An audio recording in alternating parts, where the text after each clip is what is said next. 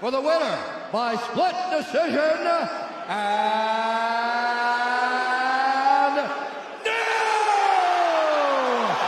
undisputed UFC middleweight champion of the world, Dricus Still Not Du Plessis.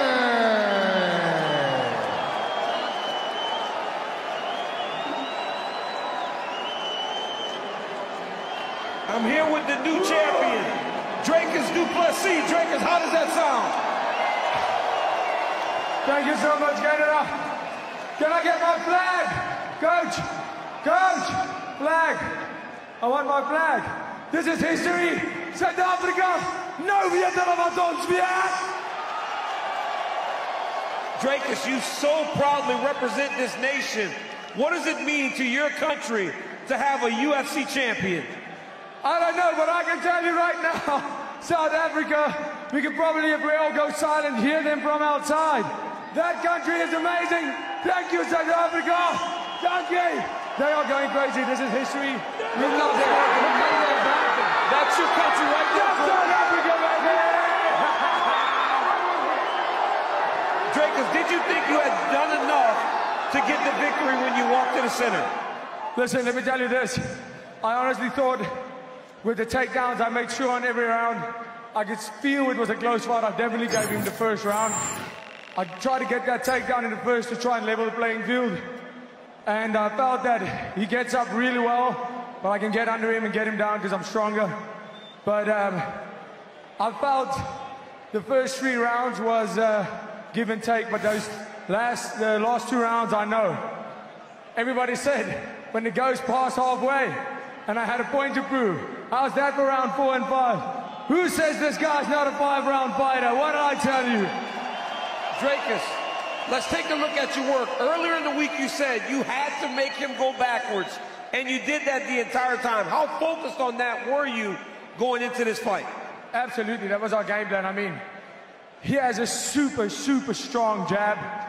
It's almost like he doesn't open his hand, he has this clenched fist. Every time he hits you with that jab, it feels like somebody hits you with a rock.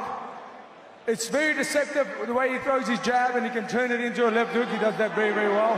But it was imperative that I make this and go backwards. And it took me a while because I knew if I kept on pressuring, he'll pressure, but you know, if you if I'm pressuring like this, this this physique, I promise you're gonna get tired, and that was the game plan. I got tired too, but I had to fight for it tonight. And Sean Strickland, he said to death, I tried to kill you in here tonight. Didn't quite get there, but you are one hell of a man.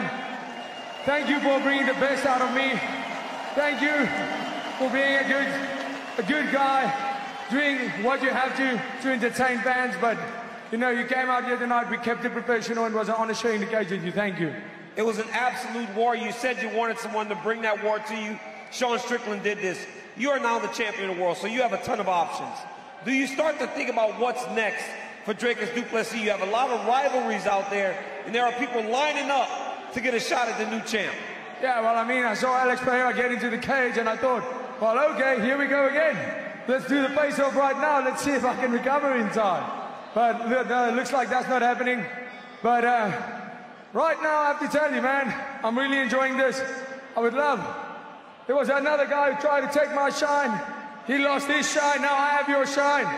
You didn't get into the cage tonight, but Israel Adesanya, get your back in the UFC so we can settle the score. Ladies and gentlemen, give it up for the new middleweight champion of the world, Dricus Duplessis.